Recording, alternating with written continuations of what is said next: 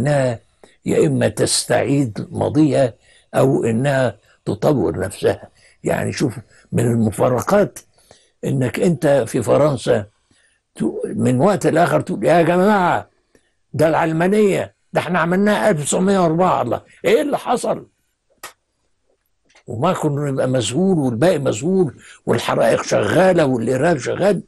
اذا أنت كوكب الأرض بلا استثناء كله مشتعل بسبب الصراع بين الاصوليه والعلمانية. فأنت في الحالة دي حتى النخب لازم تكون كوكبية ما تبقاش محلية.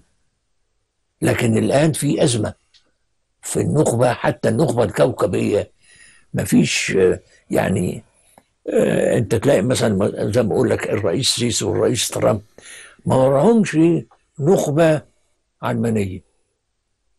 مفيش. دور عليها تلاقي فين حتى في الجزء حتى في الحزب الجمهوري صعب إنك تلاقيها إيه لما جه ترامب يعمل صفقة ال- القرن. قال يا جماعة خشوا مفاوضات مباشرة واعملوا تنازلات ما غير كده مش ممكن. وبعد شوية قال الله اسمعوا بقى أنتوا ما عملتوش تنازلات يبقى ما فيش سلام إلى الأبد. شوف بقى قد إيه. آه طب أنا ببحث الأزمة فين؟ لو حتى مسكت المفاوضات دي المباشرة اللي هي واقعة بين الفلسطينيين والإسرائيليين أنت عايز تشوف إيه إيه السبب؟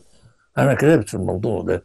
السبب في أصولية يهودية وفي أصولية إسلامية منع المفاوضات المباشرة. ده باختصار يعني. طبعا هنا فين النخبة؟ في حالة صراع.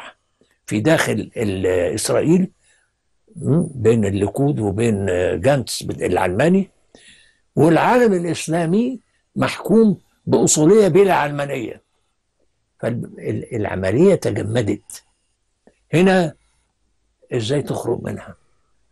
دي الإشكالية؟ كيف نخرج من هذه الإشكالية؟ أعتقد